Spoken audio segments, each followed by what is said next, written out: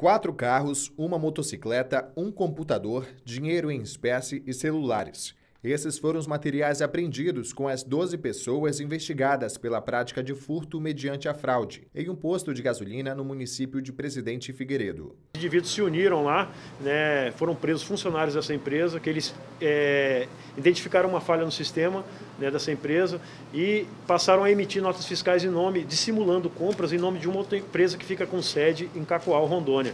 Né? E essa empresa tinha um desconto por ser cliente fidelizado, eles conseguiam retirar esse valor dissimulando essas compras aí.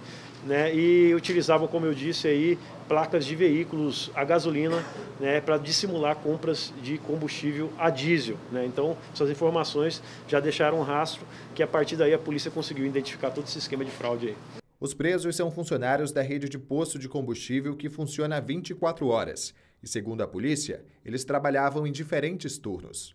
Com a prática do crime desde o mês de fevereiro deste ano, os investigados tiveram uma evolução significativa no seu patrimônio. Eles tiveram uma evolução muito grande no patrimônio. Né? É, a média salarial dos funcionários lá é cerca de 1.200 até 2.200 por mês. Né? Muitos já tinham adquirido veículos, esses veículos foram apreendidos né? A gente cumpriu um mandado de busca numa residência que tinha um padrão de classe média alta. Né? Eles é, já estavam tendo um, um, um padrão de vida, foram apreendidos iPhones 12 Pro. Todos os indivíduos vão responder por furto mediante a fraude e associação criminosa e vão ficar à disposição da Justiça.